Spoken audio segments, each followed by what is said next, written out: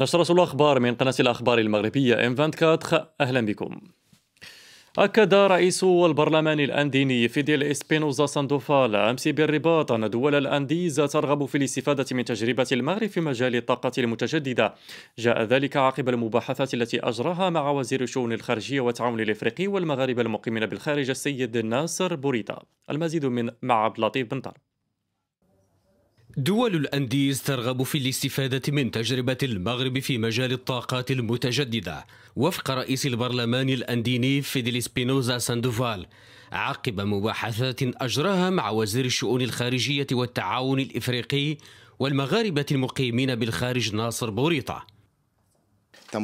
التقدم الذي تشهده مختلف جهات المملكة يجسد بوضوح إرادة صاحب الجلالة الملك محمد السادس من أجل النهوض بالرأسمال المادي والبشري للمملكة.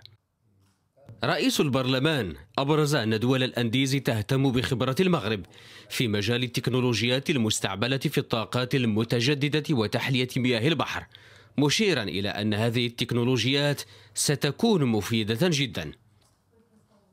منظومة الأنديز تحدوها الرغبة في الاستفادة من التجربة المغربية في مجالات الطاقة المتجددة.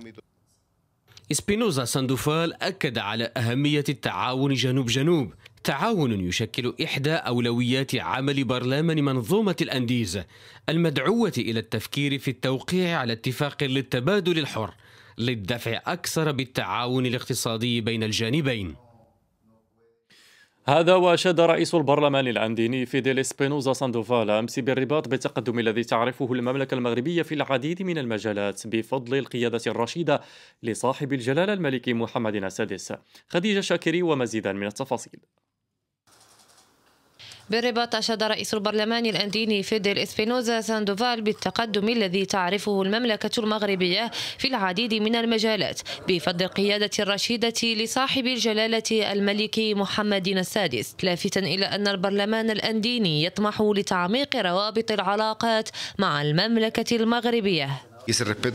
المملكة تحقق تقدما كبيرا من خلال الاستثمار في مجالات الرأس المال البشري والتنمية والبنية التحتية والتكنولوجيا الرقمية وتكنولوجيا توليد الطاقة النظيفة.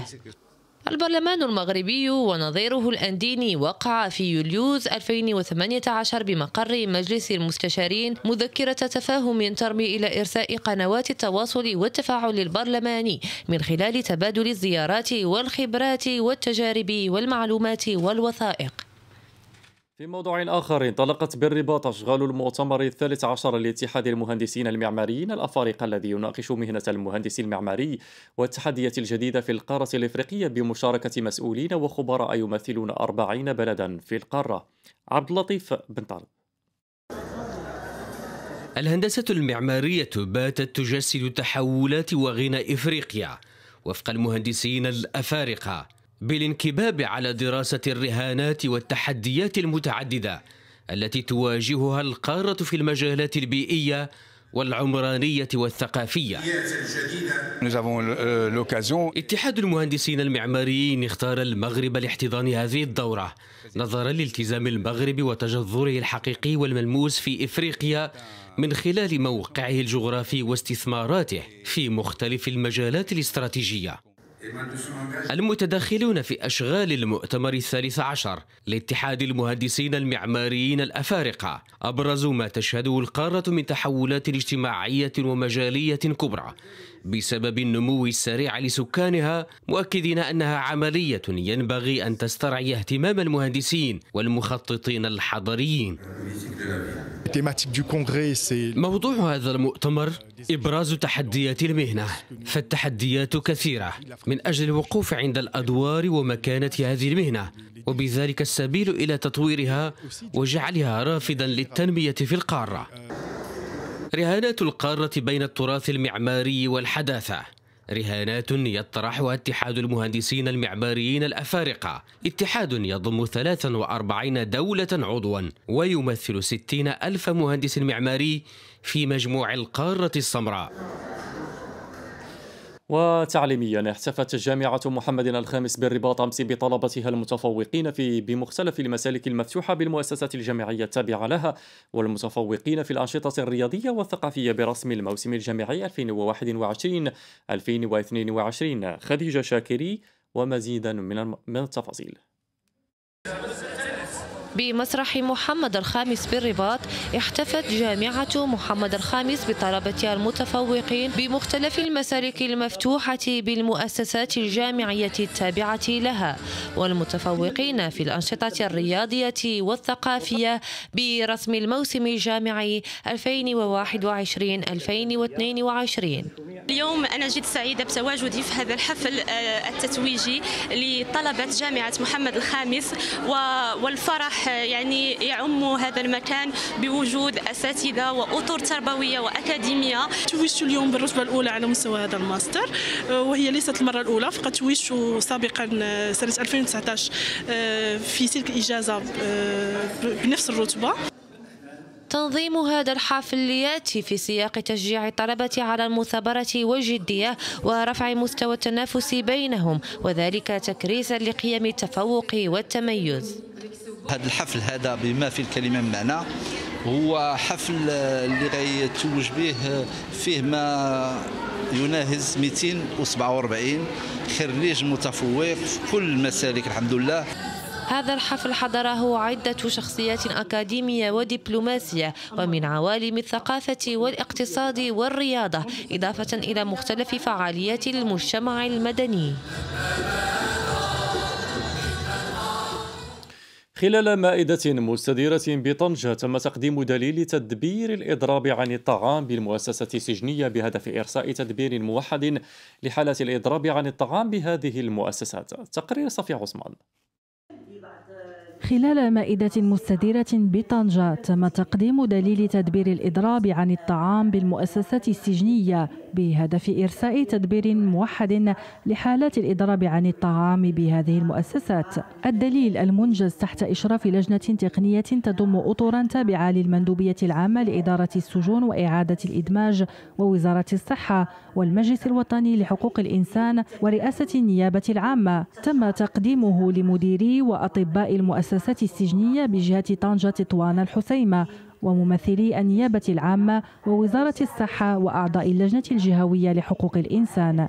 نقوم طبعا في هذا الإطار في مجال الحماية بالخصوص بزيارة مراكز الاعتقال والسجون المؤسسات السجنية حسب الفصل 11 من القانون 76 15 المنظم للمجلس الوطني لحقوق الإنسان. طبعا في هذا الإطار نقوم بتلقي الشكايات ديال المواطنين السجناء والسجينات نقوم بمعالجتها نقوم بتتبع أوضاع السجناء. إعداد هذا الدليل. من طرف المجلس الوطني لحقوق الإنسان والإدارة العامة لاداره السجن والنيابة العامة ووزاره الصحة والسيسيار اهميته تكمن أساسا هو في تنظيم ظاهرة ما فتئت تتكاثر بحيث انه في السجون المغربية في أواخر أوائل 2013 2014 كانت كتوصل حالة الإضراب ديال الطعام إلى حدود 3000 ولم يكن من الممكن أن تبقى هذه الظاهرة على عواهنها. لا بد كان من من تنظيم من تنظيمها. الدليل يشكل إطارا مرجعيا يحدد بشكل واضح وسلس مسؤولية ومجال وطريقة تدخل الجهات المعنية خلال جميع مراحل هذه العملية بالفعالية المطلوبة. وقد تم إعداد هذا الدليل وفقا لمقاربة ترتكز على حقوق الإنسان في احترام للتشريع والخصوصيات الوطنية والمبادئ الأخلاقية ومقتضيات القانون الدولي. سلط متداخلون مغاربة وأجانب بسطات الضوء على وجهات مبادرة الحكم الذاتي في حل النزاع المفتعل حول الصحراء المغربية وذلك في إطار ندوة دولية نظمتها مؤسسة جذور لمغاربة العالم. وتأتي هذه الندوة في سياق الدينامية الإيجابية التي تعرفها القضية الوطنية. تقرير رغدة قبوري. خلال ندوة دولية نظمتها بسطات مؤسسة جذور لمغاربة العالم. أبرز متدخلون مغاربة وأجانب وجهة مبادرة الحكم الذاتي في حل النزاع المفتعل حول الصحراء المغربية والقوة الناعمة ذات الطابع الدبلوماسي للمغرب. قوة أضحت نموذجا لتحقيق التنمية والاستقرار الجيوسياسي في شمال إفريقيا. اليوم المغرب بفضل السياسات الحكيمة ويعني الرشيدة لصاحب الجلالة الملك محمد السادس نصره الله وايده حقق حقق انتصارات كبيرة. وصراحة نحن سعداء جدا. وبغينا نقولوا كذلك يعني العالم يعني إحنا كمغاربة العالم نعيش في تلك الدول بأن ملف الصحراء قد حسم قد انتهى. الندوة تأتي في سياق الدينامية الإيجابية التي تعرفها القضية الوطنية، لا سيما بعد الاعتراف التاريخي للولايات المتحدة بسيادة المملكة الكاملة على صحرائها، والموقف الإسباني الجديد الداعم لمبادرة الحكم الذاتي، وكذا الموقف الألماني في نفس القضية، فضلا عن افتتاح ما يقرب من 25 قنصلية بمدينتي العيون والداخلة. القرار الإسباني الأخير بشأن مبادرة الحكم الذاتي يشكل عودة إلى الشرعية ومنطق اتفاقية مدريد الثلاثية إسبانيا من خلال اعتبارها للمبادرة المغربية للحكم الذاتي بمثابة الأساس الأكثر جدية وواقعية ومصداقية من أجل تسوية الخلاف المتعلق بالصحراء المغربية تعود إلى الحقيقة والعدالة والصواب. أطروحة الحكم الذاتي اللي هي موجودة بالفعل في الصحراء ومطبقة طول عمرها في قبائلها وفي بالعرف والقانون المملكة مقابل أطروحة غير منطقية عبثية ورثها حكام الجزائر من نظام وراء نظام إلى أن تجاوزها الزمن وأصبحت غير منطقية. بدوره الخبير الإيطالي في العلاقات الدولية ماتيو جاك دومينيسي أبرز دور وأهمية القوة الناعمة ذات الطابع الدبلوماسي للمغرب والتي باتت تسهم بشكل جلي في تحقيق التنمية وتعزيز الاستقرار في منطقة شمال إفريقيا. بالعاصمة المصرية القاهرة بدأت أولى جلسات الحوار الوطني باجتماع مجلس الأمناء الذي ضم مختلف القوى السياسية والنقابية بالبلاد. ويهدف الحوار لخلق مساحات مشتركة بين القوى السياسية تؤسس لمشاركة أوسع من أطياف المجتمع في الحياة السياسية والاقتصادية. صافي عثمان. بالعاصمة المصرية القاهرة بدأت أولى جلسات الحوار الوطني باجتماع مجلس الأمناء الذي ضم مختلف القوى السياسية والنقابية بالبلاد. الرئيس المصري كان قد دعا في أبريل الماضي إلى حوار سياسي وطني شامل دون تمييز يجمع كل التيارات الحزبية والشبابية لمواجهة التحديات الراهنة تحت إشراف مباشر من رئاسة الجمهورية. وصلنا اليوم للحوار الوطني حتى نحلحل هذه الحالة ونبدأ في حالة جديدة من الحراك السياسي الحقيقي. الحوار الوطني هو حوار بين أطراف المفروض هيكونوا مختلفين تماما. وأنا بأكد على ده يمكن بشكل واضح جدا مختلفين تماما على المستويين الفكري والمنهجي والسياسي. اتفقنا إن شاء الله هنبدأ في المراحل القادمة نعقد اجتماع آخر يوم 19 7 المحاور الأساسية المحور السياسي المحور الاقتصادي المحور الاجتماعي واحتمال في محور ثقافي. القضايا العامة ممكن هتبقى موجودة زي قضايا الطفل قضايا الشباب قضايا الجمعيات الأهلية قضايا المشكلة السكانية المناخ كل هذه قضايا مطروحة على على ترابيزة المناقشة في المرحلة القادمة.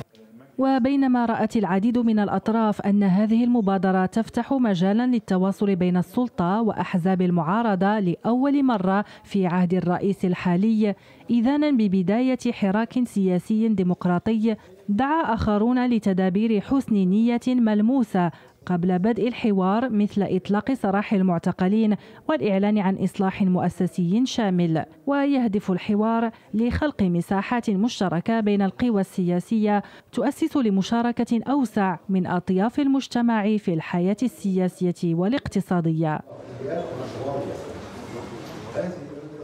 بعد سنتين من جائحة كورونا عاد حجاج بيت الله الحرام إلى أداء مناسك الحج. الفريضة تمنح بعض الحجاج فرصة زيارة جبل النور الذي يحتضن غار حراء. روبورتاج عبد اللطيف بن طلب. رغم هذا الدرج الضيق صعوبة الصعود لأكثر من 600 متر في أعالي جبل النور لم تحل دون اقتفاء آثار نبي الرحمة محمد. فإلى هذا الجبل هبط جبريل حاملا آيات الهداية في غار حراء رحم الديانة الإسلامية. هذا هو غار حراء الذي كان يتعبد فيه النبي صلى الله عليه وسلم الليالي ذوات العدد. ونزلت عليه رسالة من هذا المكان وانتشرت إلى الدنيا كلها. أشعة شمس الإسلام أشرقت منذ أربعة عشر قرنا على الأرض وما تزال تنير الكوكب.